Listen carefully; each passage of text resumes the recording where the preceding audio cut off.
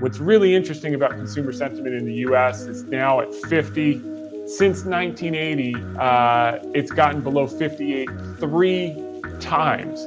In all three instances, it marked the lows in sentiment and the highs in inflation. They were all peaks in inflation. There's an inverse correlation when sent when inflation is at its highest, sentiment is at its lowest. It's now at its lowest uh, in over 40 years, which means inflation's uh, at its highest in over 40 years.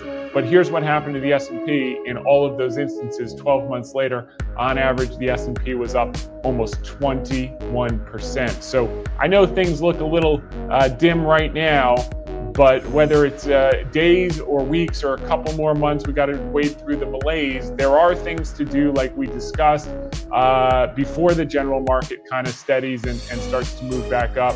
Uh, but but there are certainly opportunities, and uh, and this level of pessimism is usually accompanied by great opportunity. If you just have to take a little longer view.